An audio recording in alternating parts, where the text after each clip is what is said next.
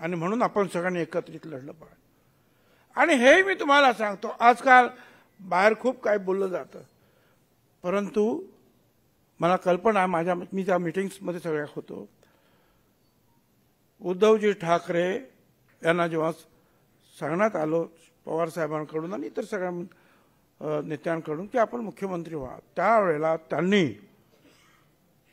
खरं सांगतो त्यावेळेला त्यांनी सुभाष आपले सुभाष देसाई साहेब. आणि हे आता तिकडचे मुख्यमंत्री झालेत ना काय नाव त्यांचं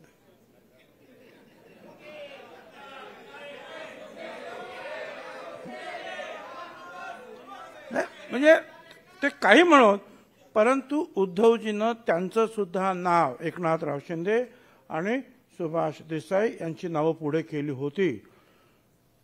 परंतु पवार साहेब आणि ह्या सगळ्या नेत्यांनी सांगितलं की ह्या आप- तुमच्या मंत्री आताच्या मंत्रिमंडळामध्ये अनेक वर्ष काम केलेले मंत्री असणार आहेत.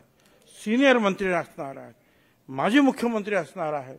आणि मग अशा वेळेला तुम्हालाच मुख्यमंत्री व्हावं लागेल ही गळ ह्या बाकीच्या दोन्ही पक्षाने घातल्यानंतर मग उद्धवजी बसले. आणि माझ्या बांधवांनो भगिनी आणि मातांनो खरं म्हणजे आज आपण इकडे या सभागृहात जे जे आलेलो आहोत ते वचनबद्ध होण्यासाठी आलेलो आहोत की कुठल्याही परिस्थितीमध्ये या महाराष्ट्रामध्ये पुन्हा महाविकास आघाडीचं सरकार आणणारच. यासाठी ही सगळी आपण सगळे जमलेलो आहोत. या सभा कशासाठी आहेत? या सभा लोक आपल्या बरोबर आहेत. परंतु लोक आपल्या बरोबर आहे हे त्यांना सुद्धा दिसलं पाहिजे समोरच्यांना. जगाला दिसलं पाहिजे. आणि आम्ही एकत्र आहोत हे सुद्धा दिसलं पाहिजे. वेगवेगळ्या मिटिंगचं घेता येतील. उद्धवजींची सुद्धा फार प्रचंड मिटिंग झाली कोकणामध्ये. पण सगळ्यांनी एकत्रित आम्ही आहोत. आम्ही फक्त सरकार बनवण्यासाठी नाही तर लोकांचे प्रश्न सोडवण्यासाठी आणि लढण्यासाठी रस्त्यावर येण्यासाठी सुद्धा एकत्र आहोत हे आपल्याला दाखवून द्यायचं आहे.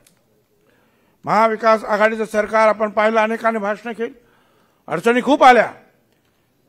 पण ज्या वेळेला पवार साहेब उद्धवजी ठाकरे यांनी सगळ्यांनी ठरवलं की आपल्याला या भाजप सोडून सरकार करायचं आहे.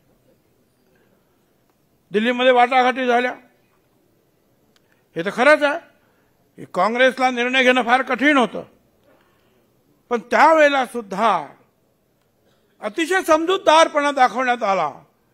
आणि काँग्रेसने सुद्धा मान्य केलं की आम्ही तुमच्याबरोबर येणार.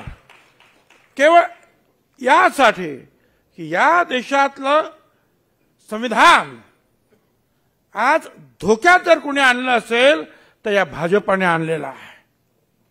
आणि म्हणून आपण सगळ्यांनी एकत्रित लढलं पाहिजे. आणि हे मी तुम्हाला सांगतो आजकाल बाहेर खूप काही बोललं जातं.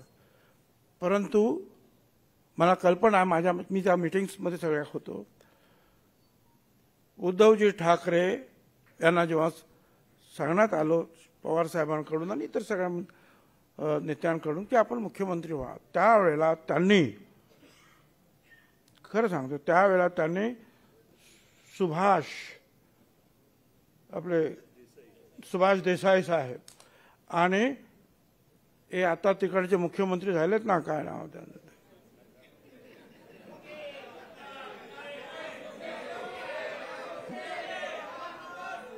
नाही, म्हणजे ते काही म्हणत परंतु उद्धवजीनं त्यांचं सुद्धा नाव एकनाथराव शिंदे आणि सुभाष देसाई यांची नावं पुढे केली होती.